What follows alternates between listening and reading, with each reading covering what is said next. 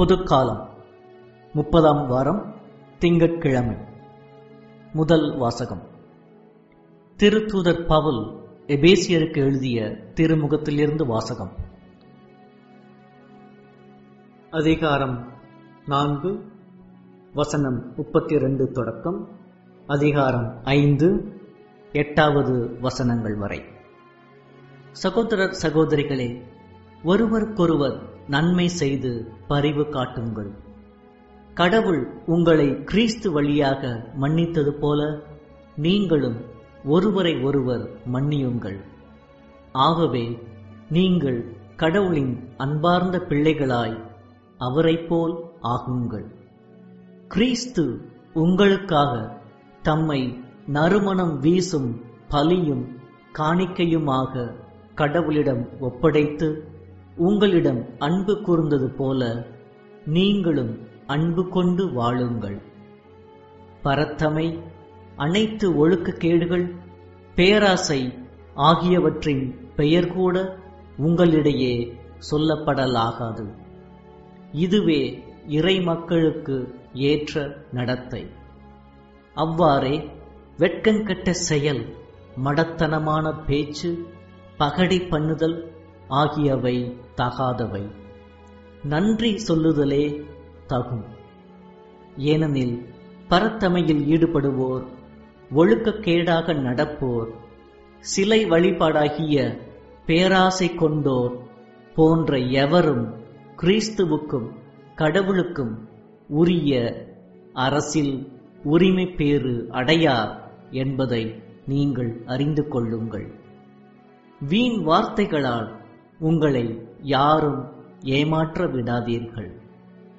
ஏனெனில் மேற்கூறிய செயல்களால் தான் கீழ்ப்படியாத மக்கள் மீது கடவுளின் சினம் வருகின்றது.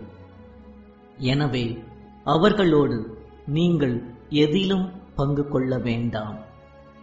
ஒரு காலத்தில் இருளாய் இருந்த நீங்கள் இப்போது ஆண்டவரோடு இணைந்து ஒளியாய் இருக்கிறீர்கள். ஆகவே ஒளி பெற்ற மக்களாக வாழுங்கள்.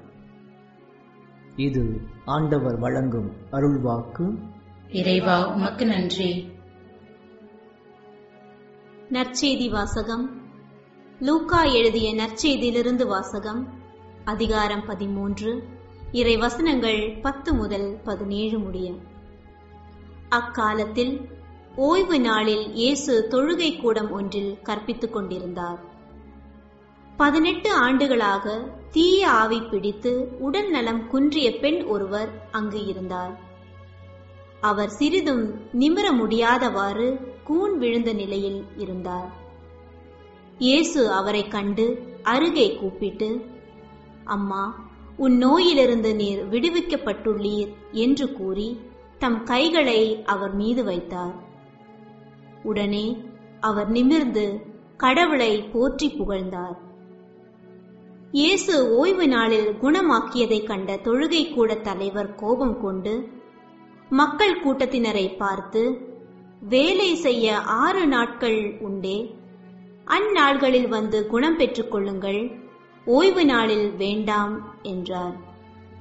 ஆண்டவரோ அவரை பார்த்து வெளிவேடக்காரரே நீங்கள் ஒவ்வொருவரும் ஓய்வு நாளில் தம் மாட்டையோ கழுதையையோ தொழுவத்திலிருந்து அவிழ்த்து கொண்டு போய் தண்ணீர் காட்டுவது இல்லையோ? பாருங்கள் ஆபிரகாமின் மகளாகிய இவரை பதினெட்டு ஆண்டுகளாக சாத்தான் கட்டி வைத்திருந்தான். இந்த கட்டிலிருந்து இவரை ஓய்வு நாளில் விடுவிப்பது முறையில்லையா? என்று கேட்டார். அவர் இவற்றை சொன்னபோது அவரை எதிர்த்த அனைவரும் வெட்கப்பட்டனர். திரண்டிருந்த மக்கள் எல்லாரும் அவர் செய்த மாட்சிக்குரிய செயல்கள் அனைத்தையும் குறித்து மகிழ்ச்சி அடைந்தனர். இது கிறிஸ்து வழங்கும் நற்செய்தி. கிறிஸ்துவே உமக்கு புகழ்.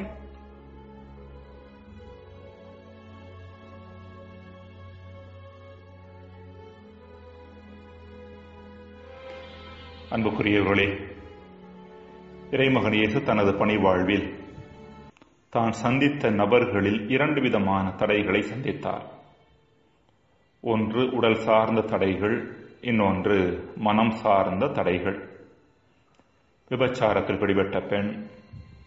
ரோமையர்களுக்காக வரி வசூலித்ததன் காரணமாக பாவத்தில் வாழ்ந்த மத்தேயு மற்றும் சக்கேயு பல்வேறு விதமான நோய்களை தங்களது உடலில் தாங்கிய நபர்கள் ஆகிய அனைவருமே உடல் சார்ந்த தடைகளை தங்களிலே தாங்கிய நபர்களுக்கு ஒரு சில உதாரணங்கள். உடல் சார்ந்த தடை என்பது உடலின் ஈர்ப்புகளுக்கு அடிபணிந்த பாவ வாழ்வையும் நோய் நொடிகளையும் உள்ளடக்கியதாக இருக்கிறது. இன்னும் சில மனிதர்கள் வெளிப்புற செயல்பாடுகளில் பெரிய அளவில் பாவம் செய்தவர்களாக இல்லாதிருந்த போதும் தங்களுக்கு உள்ளே கோபத்தோடும் பொறாமையோடும் பேராசை உணர்வுகளோடும் அதீத அகந்தையோடும் வாழ்ந்தனர். இவையே மனம் சார்ந்த தடைகள் என்று சொல்லப்படுபவை. இதற்கு சிறந்த உதாரணமாக விளங்கியவர்கள் பரிசெயர்கள். இப்படிப்பட்ட இருவகையான மனிதர்களில் உடல் சார்ந்த தடைகளை தங்களிலே தாங்கியவர்களை இயேசுவால் எளிதில் அவர்களது தடைகளிலிருந்து வெளியே கொணர முடிந்தது. ஆனால் மன அளவிலான தடைகளை தங்களிலேயே தாங்கியவர்களை மீட்டெடுப்பது இயேசுவை பொறுத்த அளவில் மிகப்பெரிய சவாலாக இருந்தது. எனவேதான் ஊதாரி மைந்தன் உவமையில் உடல் சார்ந்த தடைகளை தன்னிலே தாங்கிய இளைய மைந்தன் திரும்பி வந்ததாக சுட்டிக்காட்டிய இயேசு மனம் சார்ந்த தடைகளை தன்னிலே அதிகம் தாங்கிய மூத்த மகன் வீட்டிற்குள் நுழைந்தானா இல்லையா என்பது குறித்து தெளிவாக சொல்லாமல் உவமையை முடித்துவிட்டார்.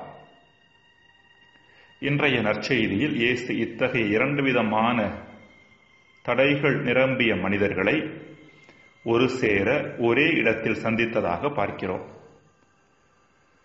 ஒரு பக்கம் பன்னிரண்டு ஆண்டுகளா ஆண்டுகளாக தீ ஆவியால் பீடிக்கப்பட்டு உடல் நலம் குன்றி கூன் விழுந்த நிலையில் இருந்த பெண் இவர் உடல் சார்ந்த தடையை தன்னிலே தாங்கியவர்.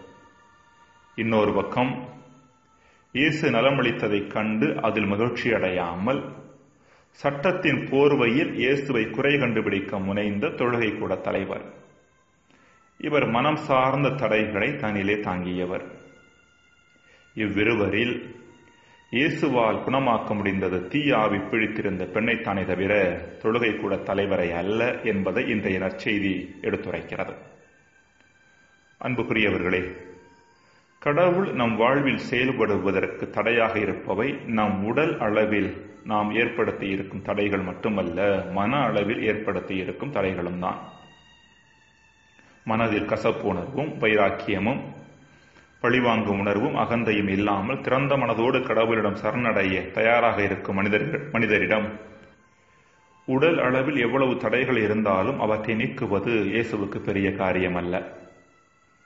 அதே வேளையில் மனதில் மேற்கண்ட தடைகளை தாங்கிக் கொண்டு நாம் எவ்வளவுதான் மணிக்கணக்கில் மணிக்கணக்கில் ஜெபித்தாலும் கடவுள் நம் வாழ்விற்குள் வர இயலாது செயல்பட இயலாது என்பதை நாம் புரிந்து கொள்வது இன்றியமையாத ஒன்றாக இருக்கிறது. இவ்வாறு மன அளவில் தடைகள் இல்லாமல் வாழ்வதற்கான சில வழிமுறைகளை இன்றைய முதல் வாசகத்தில் புனித பவுலடியார் நமக்கு தருகிறார். முதலாவதாக நம்மை சுற்றியுள்ளவர்களுக்கு நம்மால் இயன்ற நல்ல காரியங்களை செய்து பரிவு காட்டுவது. பிறருக்கு நன்மை செய்ய ஆரம்பிக்கின்ற பொழுது அவர்களுக்கும் நமக்கும் இடையேயான உறவு வளர ஆரம்பிக்கிறது. இரண்டாவதாக கிறிஸ்து வழியாக கடவுள் நம் குற்றங்களை மன்னிப்பதை அடிக்கடி நினைவு கூறுவது. நாம் நமது அகத்திலும் புறத்திலும் செய்கின்ற எத்தனையோ வகையான குற்றங்களை கடவுள் மன்னிக்கின்றார். என்பதை நினைவு கூறுகின்ற பொழுது பிறர் நமக்கு எதிராக செய்யும் காரியங்கள் ஒரு பொருட்டாகவே நமக்கு தெரியப் போவதில்லை. கோபமும் பழிவாங்கும் உணர்வும் தானாகவே மறைந்துவிடும். மூன்றாவதாக தீய மனநிலைகளும் தீய செயல்பாடுகளும் நம் வாழ்வில் இருக்கின்ற வரை நாம் நிறைவாழ்வாம் கடவுளின் அரசில் பங்கா கடவுளின் கடவுளது அரசின் பங்காளிகளாக பங்கேற்பவர்களாக மாறப்போவதில்லை என்பதை மனதில் இருத்துவது. இப்படிப்பட்ட காரியங்கள் வழியாக நமக்குள் இருக்கின்ற மனம் சார்ந்த தடைகளை களை களைகின்ற பொழுது நம்முடைய வாழ்வில் இறைவனது செயல்பாடு தானாகவே அரங்கேறும் என்கிற செய்தியைத்தான் இன்றைய நாளில் நாம் பெற்றுச் செல்ல அழைக்கப்படுகின்றோம். ஜெபம். இறைவா உம் செயல்பாடு எம்மில் முழுமையாக இருக்கும் பொருட்டு எமக்குள்ளே நாங்கள் ஏற்படுத்தி இருக்கும் தடைகளை நாங்கள் நீக்க முன்வர வரம் தாரும். ஆமேன்.